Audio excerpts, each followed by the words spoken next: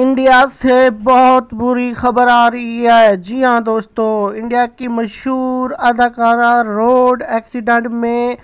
मारी गई जी हाँ बहुत ही जल्दी मैं अपने चैनल पर इसकी तफसील देने वाला हूँ जल्दी कीजिए चैनल को सब्सक्राइब